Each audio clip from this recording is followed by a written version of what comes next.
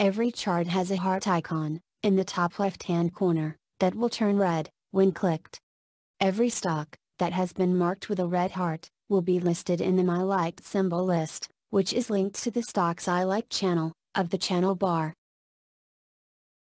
To open the channel bar, go to the toolbar, open the new tab, and select, Channel Bar.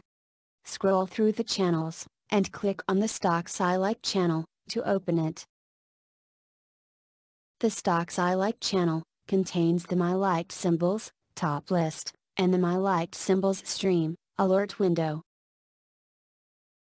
The top list, is a plain watch list, it shows the stock's filtered data, but since none of the filters have values defined, in the Windows Specific Filters tab, no stocks get filtered out.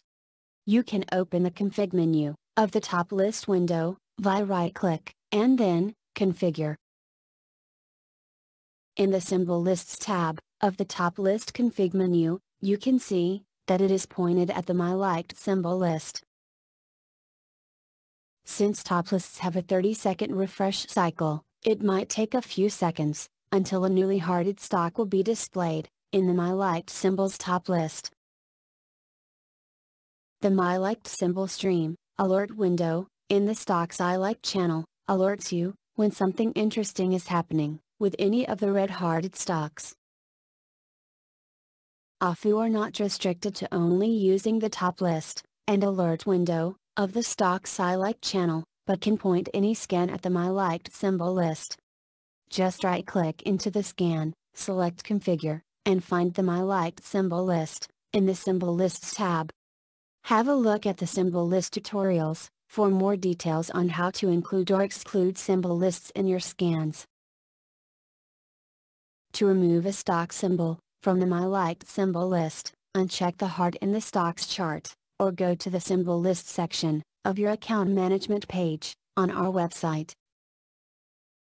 Here, select, Edit, to remove or add stocks to your My Liked symbol list. Please note, if you decide to rearrange, or modify the Stocks I Like channel, or add your own top lists to it, make sure to save the entire layout to your cloud, so you can use it again. The channels of the channel bar are fixed, and will always open the same way, so any modification will be lost after a restart. To save your new layout to the cloud, go to the toolbar, open the File tab, and select, Save Layout.